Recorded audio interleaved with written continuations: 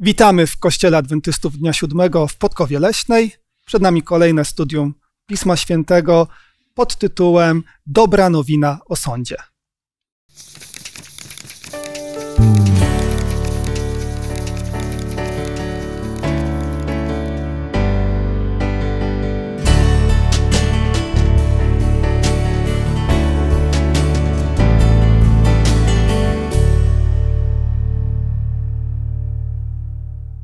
Razem ze mną tutaj w studiu są Jakub, Waldemar, Piotr. A ja jestem Mateusz i będziemy razem studiować e, Słowo Boże. I nim to uczynimy, rozpoczniemy od wspólnej modlitwy, o którą poproszę Waldemara.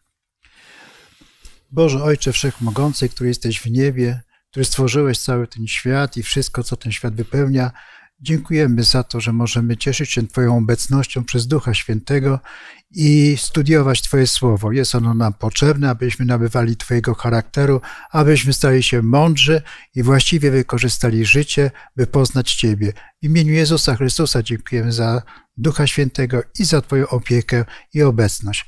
Amen. Amen. Amen. Dzisiejsze studium dotyczy zarówno Ewangelii, ale kontekście sądu, będziemy dużo mówić o sądzie, będziemy kolejny fragment e, z Księgi Apokalipsy studiować, ale nim to nastąpi, chciałem zadać wam takie pytanie, po prostu o wasze jakieś odczucia, może na bazie doświadczeń, może po prostu co myślicie na ten temat.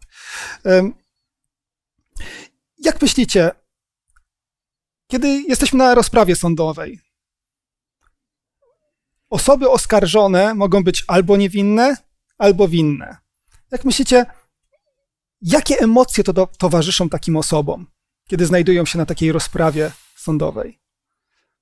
Oskarżone o coś. Ja myślę, że generalnie ludzie nie chcieliby mieć do czynienia z sądem za bardzo. I szczególnie ci, którzy są świadkami albo oskarżonymi. Natomiast nie są tacy, którzy szukają sprawiedliwości. Ci, którzy szukają sprawiedliwości, posiadają pewną nadzieję w sądzie i dla nich sąd jest jakąś deską ratunku. Potrzebują tej sprawiedliwości, a więc e, sąd staje się taką jakąś nadzieją. I myślę, że tak mniej więcej nam się to kojarzy.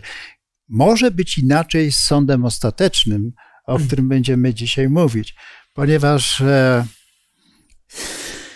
wielu ludziom nie bardzo wiadomo, jak będą sądzeni, z czego sądzeni i jaką posiadają nadzieję. Okay, dziękuję, że o tym mówisz. Na pewno będziemy do tego jeszcze nawiązywać, ale gdybyśmy mogli pomyśleć o, o tylko tych osobach oskarżonych, niewinnie lub faktycznie, którzy są oskarżeni, bo coś złego postąpili. Dla tych dwóch grup osób, jakie mogą ich, im towarzyszyć emocje na rozprawie sądowej? Myślę, że tak czy siak jednej i drugiej stronie towarzyszy na pewno duży stres. Myślę, że niewinnie oskarżonym może z jednej strony towarzyszyć nawet troszkę większy stres niż tym oskarżonym, bo mogą, na przykład z mojej perspektywy, ja bym się strasznie bał tego, że zostanę niesprawiedliwie osądzony. Okej, okay, czyli lęk, tak? Lęk. Lęk, lęk przed niesprawiedliwym osądem. osądem. Okay. No, ja bym powiedział właśnie inaczej. Gdybym był niewinny, a zakładałbym, że sąd jest sprawiedliwy, to raczej odczuwałbym spokój wewnętrzny Próbuję to też trochę może z takich realiów życia rodzinnego, jakby wydobyć e, no, zrozumienie tego odczucia. Jeśli w, w, dzieciństwie o coś mnie rodzice tam posądzili, a wiedziałem, że to zrobiłem, no to, to źle się czułem. No lęk czułem przede wszystkim, czy jakąś obawę przed konsekwencjami. Natomiast jeśli nie, to, to tylko odpowiadałem na pytania i ufałem, że wszystko będzie dobrze, ponieważ jestem niewinny. Czyli można by powiedzieć nadzieja? Nadzieja na... Pokój. Pokój. Pokój. Chyba to jest takie. Nie mam sobie nic do zarzucenia, więc wszystko jest w porządku. Tutaj jest sprawiedliwy sędzia i tak. moja sprawa jest w dobrych rękach, tak? Okej, okay. ale to jest ciekawe, co mówicie, bo w sumie oba, obie te emocje, czy to lęk, czy właśnie nadzieja, jakiś pokój, one są związane z tym rezultatem. Tak? Mhm, bo tak. to jest jakby ten finał tej rozprawy sądowej, że w końcu sędzia podaje werdykt, tak? I jest jakiś rezultat, albo potępiający, albo uniewinniający. I czy zgodzicie się, że właśnie ten rezultat jest najważniejszy podczas sądu? Ja się nie zgodzę. Okej. Okay.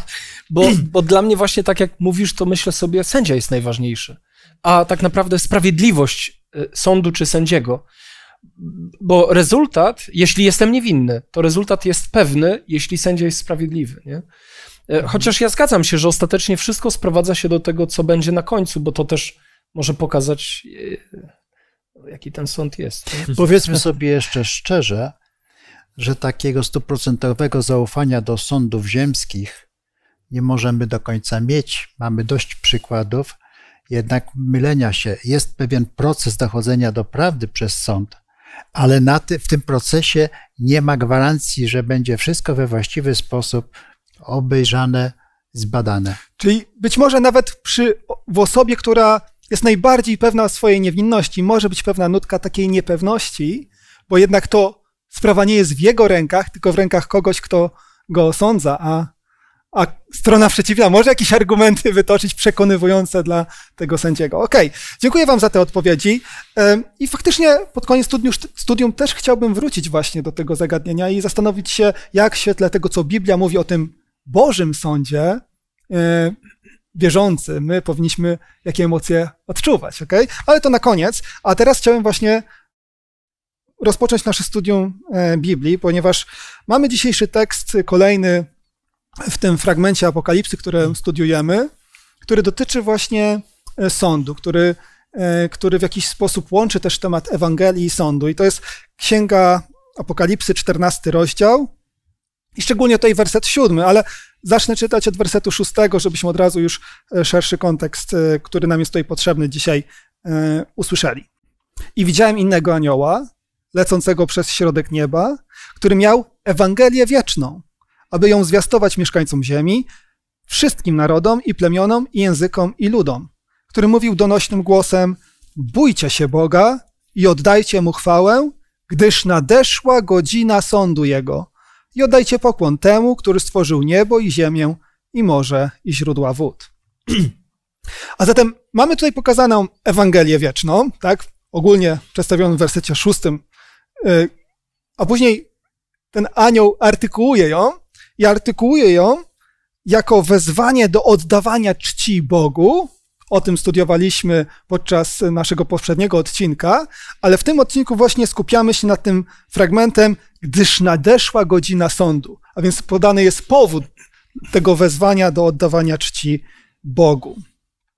Jak to jest? Czy, czy sąd może być dobrą nowiną? Czy może być nazywany Ewangelią? Jakie jest wasze odczucie? Takie, na razie takie bardzo powierzchowne. Kiedyś zostałem poproszony o y, poprowadzenie jakiegoś wykładu, przedstawienie tematu przebaczenia. E, I analizując pewne rzeczy, myśląc o tym, po pierwsze, to uświadomiłem sobie, że temat jest bardzo trudny. Po drugie, że nigdy chyba nie chciałbym za bardzo o nim mówić, dlatego że przebaczenie umieszczone jest w kontekście krzywdy. I teraz, jeżeli myślimy o sądzie z perspektywy krzywdziciela, tak, to sąd jest czymś, czego nie chce krzywdziciel.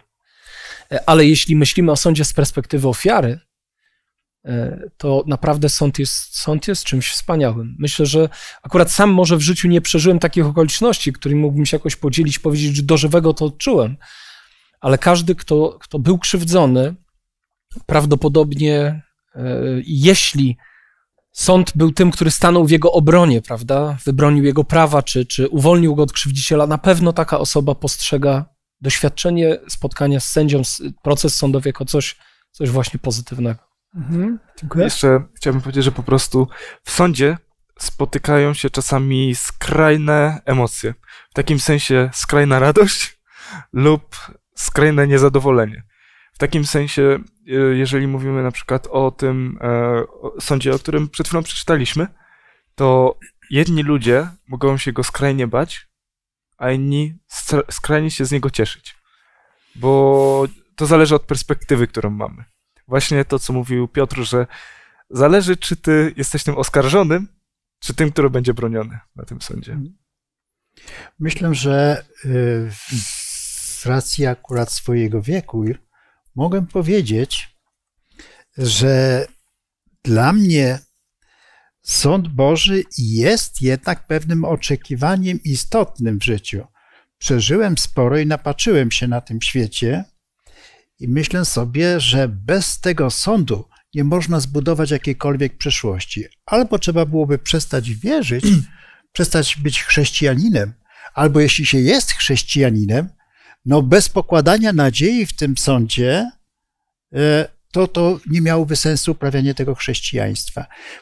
Zło musi się skończyć. Ja wiem, ile tego zła na świecie widziałem. Nie chciałbym, żeby to kiedykolwiek było. Sąd musi zakończyć pewien etap zła, bo sąd e, w efekcie kończy jakąś historię zła, mm. prawda? Jakikolwiek.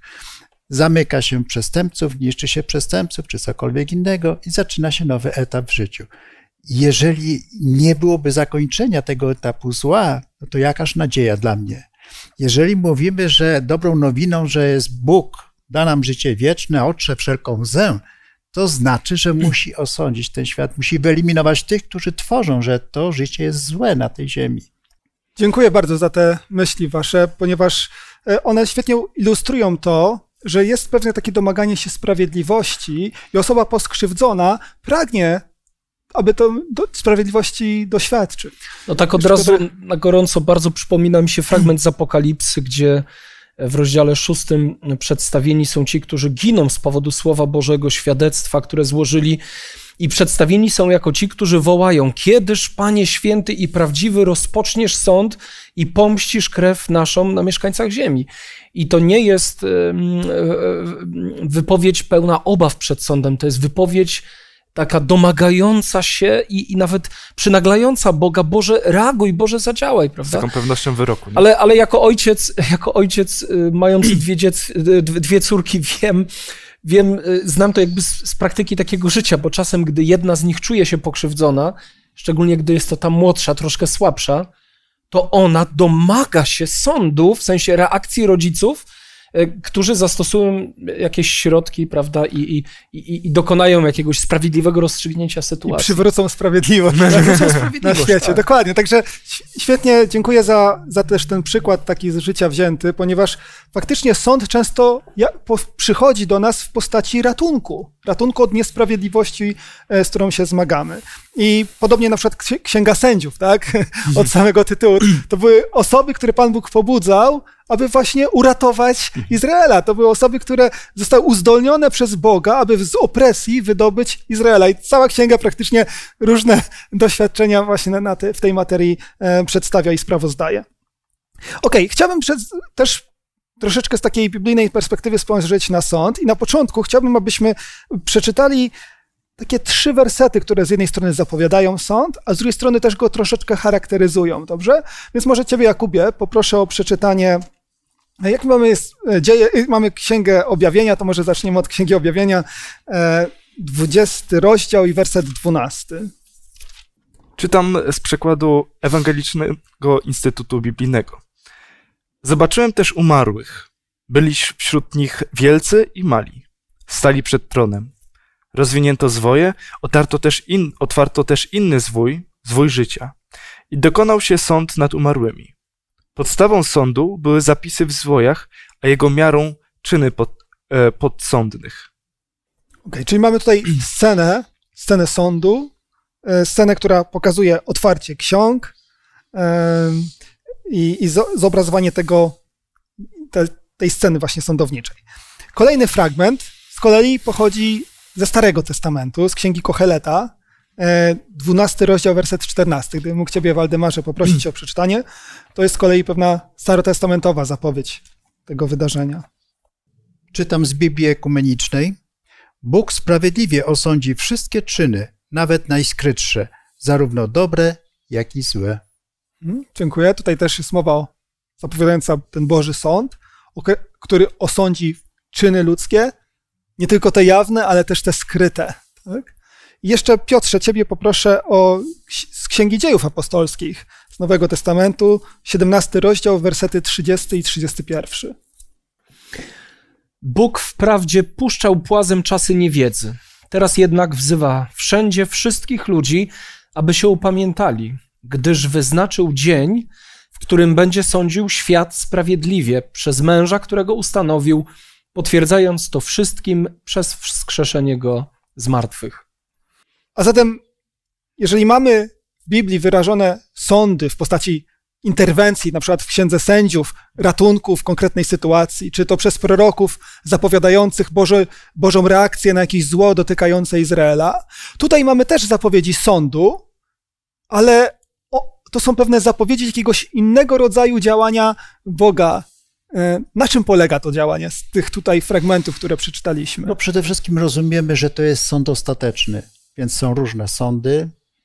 E, ten jest ostateczny innego już osądu nie będzie. Dlaczego ostateczny? Bo on decyduje o życiu wiecznym albo o unicestwieniu, o śmierci. E, więc dlatego jest to sąd ostateczny. Ale może chciałbym zwrócić uwagę na coś, co powinno zmienić nasze spojrzenie na ten sąd. Bo my się boimy, jakbyśmy to tak do końca byli my sądzeni. W pewnym sensie jesteśmy sądzeni, ale tak naprawdę to na tym sądzie wydajemy świadectwo, a sądzony jest Bóg, bo to jest bardzo ważne. To trzeba sobie uświadomić, że e, idę na ten sąd, ale bardziej jako świadek dobroci Bożej lub Jego sprawiedliwości, niż ja winien. Jeżeli ja wyznaję Pana Jezusa Chrystusa, dołożyłem starania, by iść Jego drogą. A sami z siebie nic zrobić nie możemy, mówi Pismo Święte. Pod działaniem Ducha Świętego zmieniamy się na charakter Chrystusowy. To wcześniej było studiowane. A więc, jeżeli się zmieniamy, to mamy prawo być spokojni. Zawsze pamiętam tę kwestię tego Łotra na krzyżu. Co on jeszcze mógł zrobić dla swojego zbawienia, poza wyznaniem, że jest, że wierzy, prawda? To nie od ilości dobrych uczynków czy złych uczynków zbawieni jesteśmy, tylko z łaski Pana Jezusa, ale przez wiarę. Ta wiara okazuje się w naszych uczynkach. Jeżeli na tym sądzie będą przeglądane nasze uczynki, to one są tylko na potwierdzenie, że uwierzyliśmy Bogu i poszliśmy Jego drogą, a On uczynił wszystko, abyśmy stali się podobni do Chrystusa i to jest świadectwo, że Bóg wybrał właściwą drogę do zlikwidacji zła. Ja bym chciał do tego pytania jeszcze, tylko tak. No bardzo proszę. Bo... się. Właśnie, bo widzimy Boga ingerującego w losy tego świata. My dzisiaj żyjemy w, w dobie wojny, która toczy się za naszymi granicami. Wielu ludzi wierzących z Ukrainy trafiło również do miejsca, gdzie żyje, i część z nich ma wielki problem, żeby zaakceptować to, że ufają potężnemu Bogu, który ingerował w losy tego świata niejednokrotnie, no a jednak na tę chwilę takiej ingerencji nie widzą. A tęsknią za jaką ingerencją? Nie tęsknią za sądem ostatecznym. Oni tęsknią za Bogiem aktywnie działającym dla ratowania krzywdzonych dzisiaj. I to jest to, to na co Mateusz zwróciłeś właśnie uwagę, że z jednej strony tak, Bóg działał w historii świata, tak można powiedzieć doraźnie, ale z drugiej strony były te teksty i też je właśnie czytaliśmy, które przenoszą naszą uwagę gdzieś tam jednak na jakiś dzień, prawda? Dzień, kiedy Bóg będzie sądził i wtedy będzie sądził już wszystkich, prawda? Jawne rzeczy, niejawne, tam księgi wchodzą e, w grę również, te różne, które tutaj były wymienione. Czyli, czyli Bóg cały czas, poza tym, że działa jakby tak e, e, w pewnych okresach historii, to też cały czas kieruje naszą uwagę na jakieś takie ostateczne rozstrzygnięcia. Tutaj brat Waldemar zwrócił uwagę, że, że właśnie e, decydujące nie tyle o tym, co doczesne, ale, ale o tym, co wieczne. Warto pamiętać jeszcze o tym, że właściwie ten sąd jest takim trochę respektywnym sądem, czyli to, co się wydarzyło, jest przedstawiane. Natomiast w innym miejscu w Piśmie Świętym pisze, że tu żyjąc, sprawujemy sami sąd nad sobą. Nasze wybory, to co dokonujemy, decyduje o tym, co będzie w przyszłości. Więc jeżeli wspomniałeś teraz wojnę w Ukrainie, y, ja modlę się codziennie o zwycięstwo y, tych biednych ludzi tam y, mordowanych przez, przez agresora, ale prawdę mówiąc, czy ja nie jestem jako chrześcijanin spokojny o dzień jutrzejszy, że ja mogę dzisiaj umrzeć? Że dla mnie kończy się dzisiaj już, czy ja będę żył 10 lat więcej, czy 10 dni, czy jeden dzień. Dla mnie chrześcijanina to nie ma większego znaczenia. Jakie jest chrześcijaństwo? Takie są też wierzenia. Ludzie mają pretensje do całego świata, a czasem i do Boga, ale nie zauważają, że życie na tej ziemi ważniejsze jest tylko po to, żeby poznać Boga. Czy na tej wojnie poznają Boga? Nie wiem, ale na pewno podejmują decyzje, które zaważą na ich przyszłym losie. Dziękuję. W naszej tutaj rozmowie nasze myśli oczywiście też biegną do takich bieżących też trudności i problemów, które są właśnie przykładem tego, że Pismo Święte zapowiada, że Pan Bóg w pewnym momencie rozliczy wszystko, rzeczy jawne i niejawne. Jeżeli jakieś rzeczy uszły płazem wcześniej, jeżeli o jakichś rzeczach ludzie się nie dowiedzieli, tak? W pewnym momencie sąd, który odbędzie Bóg, rozstrzygnie każdą sprawę każdego człowieka. Czyli e, mamy tutaj przedstawiony taki powszechny sąd, tak, nad wszystkimi. E, nikt nie ucieknie, e, nikt się jakoś nie wyślizgnie, będzie Bóg sądził, będzie sądził sprawiedliwie, mm. będzie sądził przez syna swego e, i ten sąd ma odtworzyć albo właśnie przywrócić tą wieczną sprawiedliwość, tak? Gdzie źli zostaną potępieni, a święci zostaną uniewinnieni. I Może tym... dodać byłoby jeszcze warto, że ten sąd, który ma pokazać, bo już wspomniałem wcześniej, e, jaki jest prawdziwy Bóg. Bóg jest miłosierny i powiedzmy sobie jeszcze jedną rzecz, że miłosierny jest w obu przypadkach dla tych, którzy będą zbawieni i dla tych, którzy zostaną unicestwieni.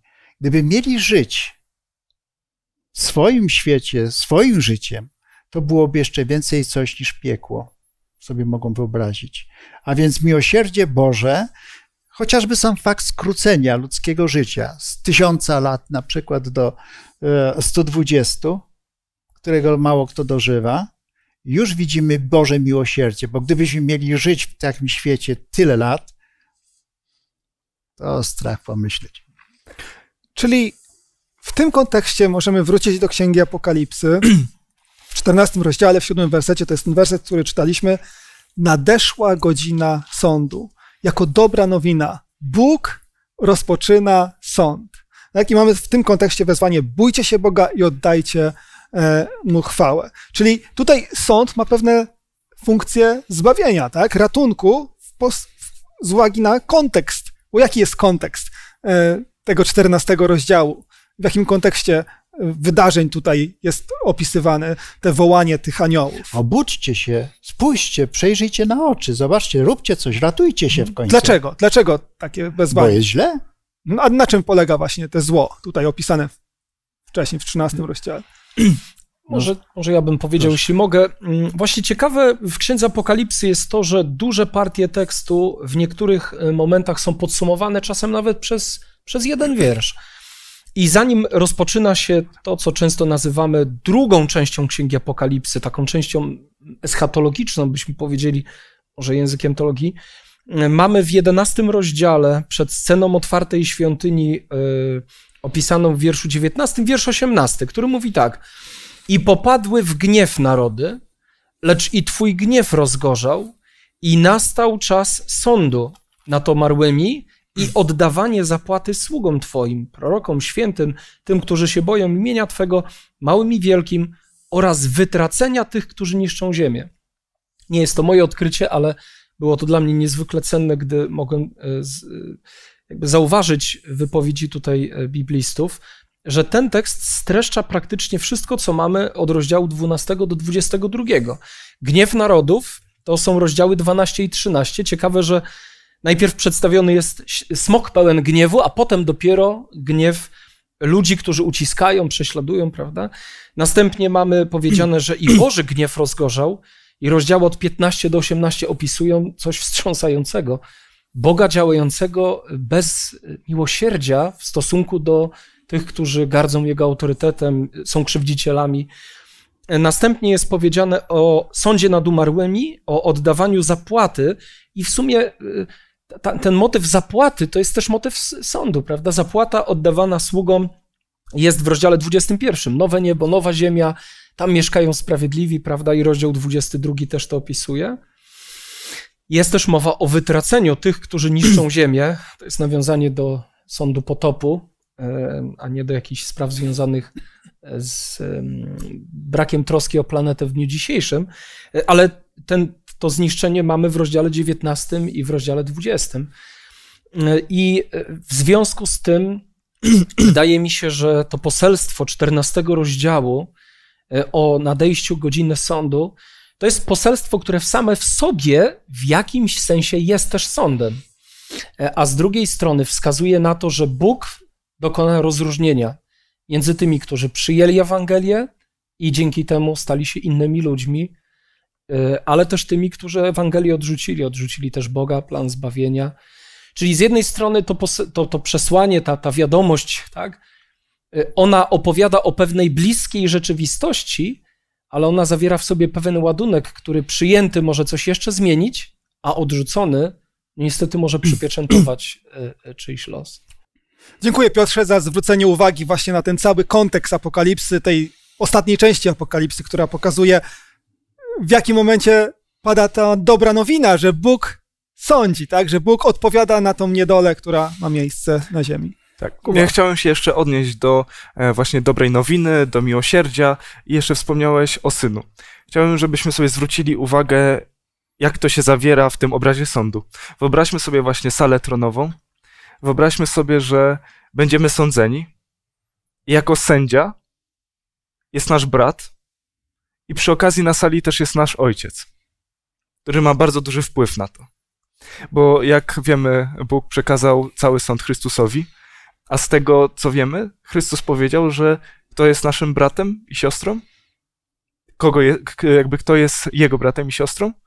Są wszyscy ci, co właśnie podążają za Bogiem. I w tej atmosferze rodziny idziemy na sąd. Wiemy, że nie idziemy do kogoś obcego, kto nas osądzi surowo, e, czasami bezpodstawnie, bez znajomości nas, mhm. tylko wiemy, że osądzi nas ktoś, kto nas bardzo dobrze zna. I chciałem jakby jeszcze to tak nakreślić na przykładzie Abrahama. Cofnijmy się do Księgi Rodzaju i pomyślmy na, na temat tego, jak Abraham zawierał, właściwie Bóg zabierał z Abrahamem przymierze. Widzimy, że Pan Bóg zabiera, e, zawiera z Abrahamem przymierze w ten sposób, że Abraham rozkraja e, zwierzęta na pół i w tamtych czasach była taka e, właśnie myśl, założenie tego czynu, że dwie strony przechodzą przez to i wtedy jest zawarta umowa.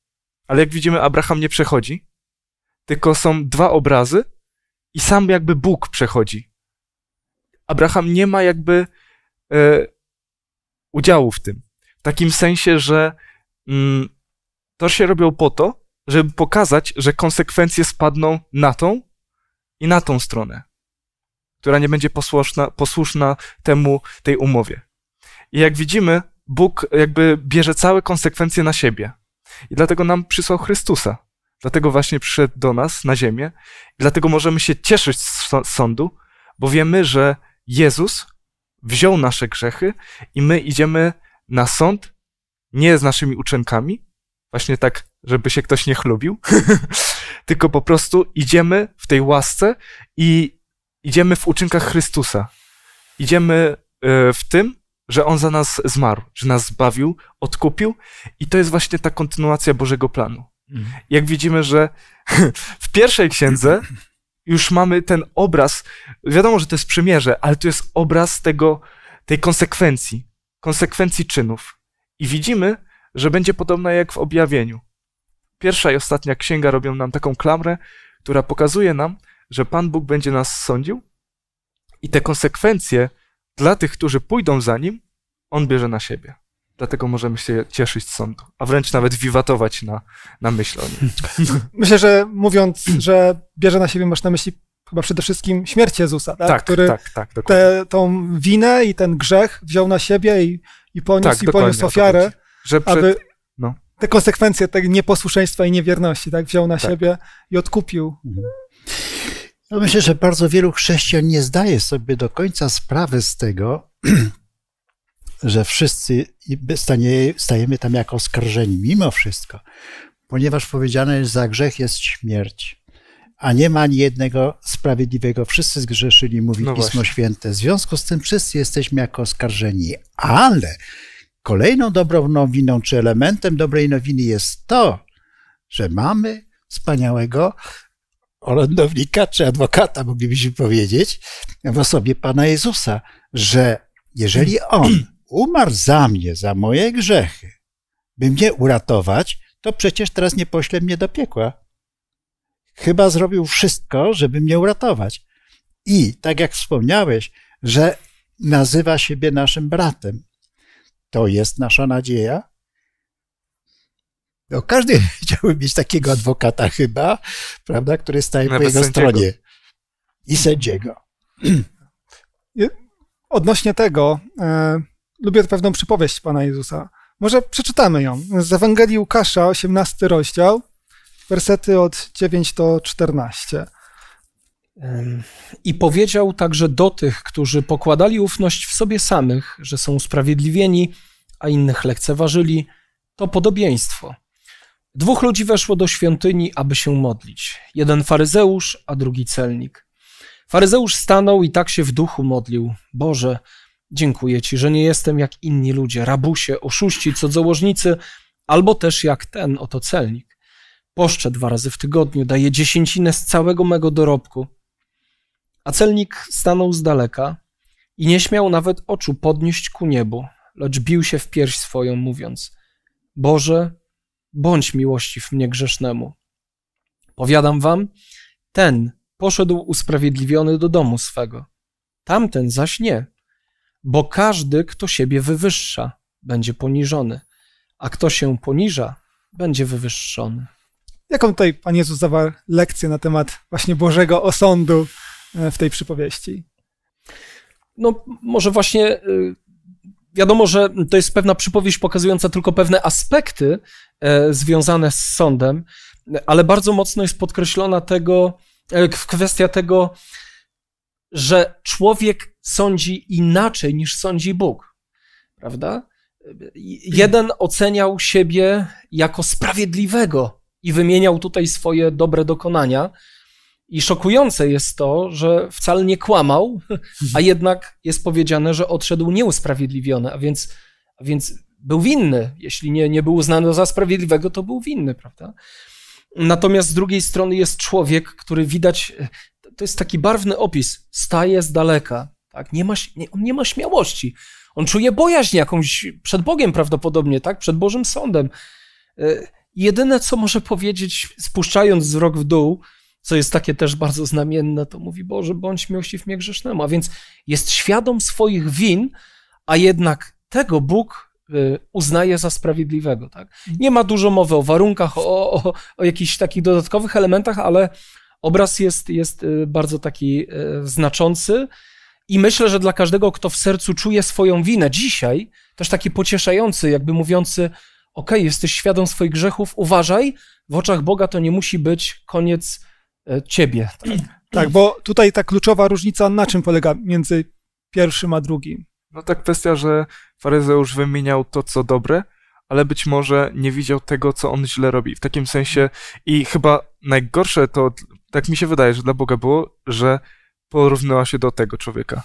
Tak właściwie to nie chodziło faryzeuszowi, takie mam wrażenie, o to, żeby, że naprawdę jest zadowolony z tego, co udało się osiągnąć, nawet w jego mniemaniu, załóżmy, z Bogiem, tylko że karmił swoją, swoje poczucie wartości i swoją tą próżność, porównując się do kogoś, kogo on uznaje za po prostu nikogo. A z drugiej strony ten, ten Właśnie. drugi, A z drugiej strony drugi człowiek, który jest przejęty tym, co on sam robi i ma właśnie tą autorefleksję. Potrafi znaleźć w sobie e, to, co Bogu może się nie podobać, jest tego świadom, a to już jest pierwszy krok do, do zmiany. Taki Pan Jezus daje wiele nauk, ale bardzo często w różnych formach mówi: Wierzcie we mnie. Oczekuję tej wiary w Niego, albo żebyśmy posiadali bardziej jeszcze tą Jego wiarę. I jakie jest spojrzenie Pana Jezusa na nas ludzi? Otóż do świętego Piotra powiedział precz szatanie, a do Judasza powiedział przyjacielu. Więc weźmy pod uwagę tak bardzo różne spojrzenia, bo chodzi o motywację, chodzi o to, w jakim momencie życia Bóg do nas przemawia różnymi sposobami, abyśmy potrafili zrozumieć, że chodzi o to, abyśmy dążyli do posiadania Jego charakteru. Ten charakter nabywali, bo co jest chwałą Bożą? Charakter, który możemy oddać Boży, bo chwała Boża to jest Jego charakter. Jeżeli przyjmujemy Jego charakter, oddajemy Mu chwałę w postaci przemiany, jaka w nas następuje. W ten sposób nabywamy prawo do tego, by nas bronił. Tak, dziękuję. I oczywiście tutaj w tej przypowieści Pan Jezus wskazał tą pokutę, tak? Wartość tej pokuty i przyjścia do Boga właśnie z problemem, jakim się człowiek zmaga. E, Jeszcze, jeśli mogę, krótko tylko dorzucę, kto jest sędzią w tej świątyni? To jest szokujące, bo, bo tak. w Księdze Apokalipsy świątynia jest przedstawiana bardzo mocno. Czwarty rozdział to jest cały rozdział praktycznie budujący y, jakby nasz, nasz, nasz obraz tego miejsca, w którym jest tron. To jest bardzo ważny y, tam przedmiot, który symbolizuje, że władcą, panem, decydentem jest tam ten, który na nim zasiada. I szokujące jest to, że w tej przypowieści y, y, sam ktoś sam siebie uczynił sędzią.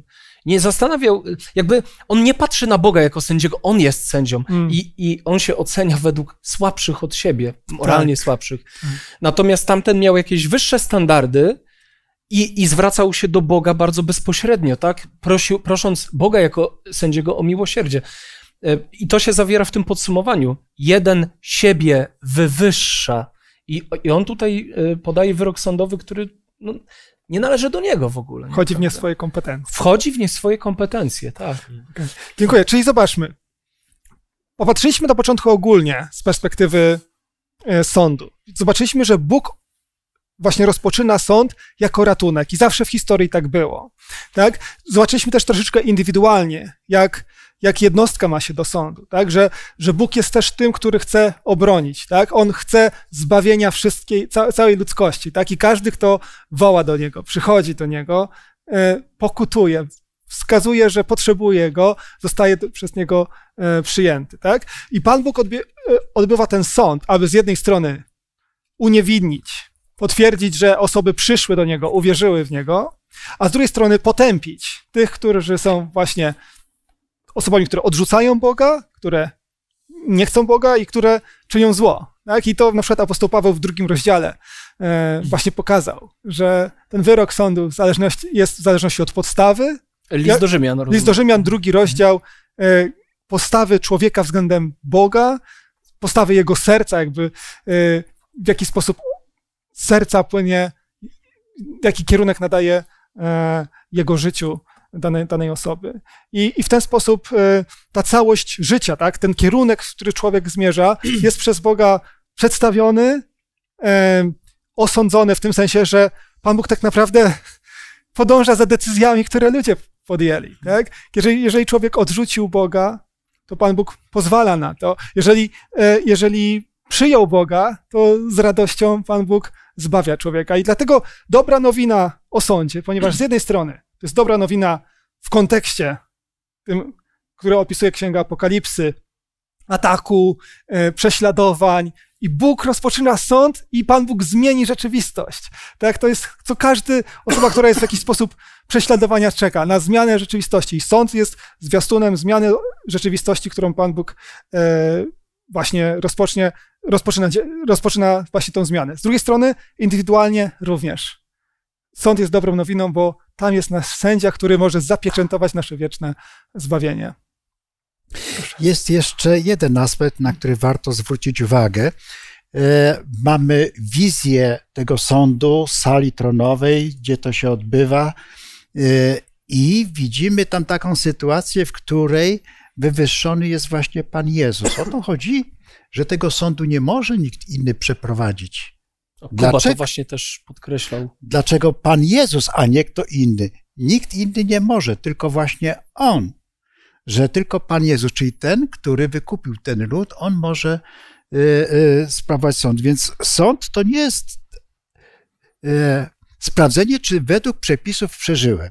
Bo przepisy mamy, tak? Dziesięć przykazań Boże, one służą nam po to, żebyśmy poprawnie żyli, ale nie są podstawą naszego osądzenia.